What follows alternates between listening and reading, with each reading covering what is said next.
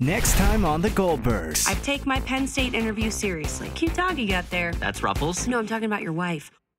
Friday at 11 on WBNX.